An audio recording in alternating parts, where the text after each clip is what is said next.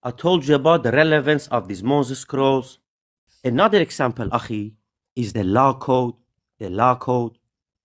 As you know, I already told you a couple of times, when we talk about corruption of the Bible, how many times, Akhi, I've been saying there are many layers of corruption, right? Corruption doesn't occur at night. You wake up, you corrupt the text and finish. It's through years and many layers. I'll just send you a screenshot, Akhi, of this Moses scrolls. Couldn't you put it on? Because the narratives of the Old Testament has many holes in it.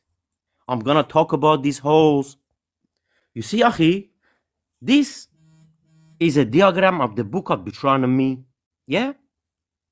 Everywhere is blank and is white, is what is missing in the uh, Moses scrolls. Things which Wellhausen, already about 100 years ago, was talking about that these are the priestly additions, priestly additions. Yet, this uh, Shapiro scroll, Achi, this Moses scrolls, does not have all of these later priestly additions in it. Wait, wait, wait. Okay? wait. Sorry, wait.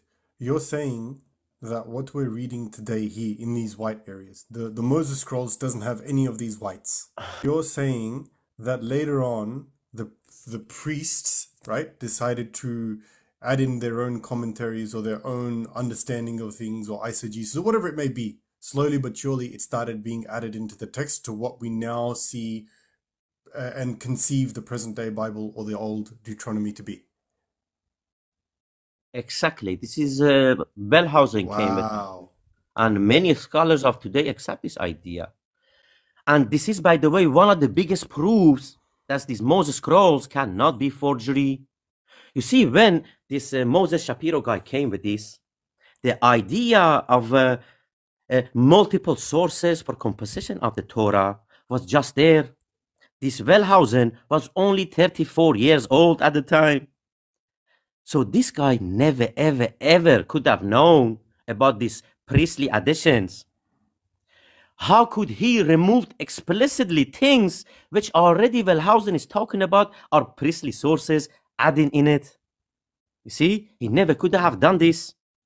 This is He- one of the reasons.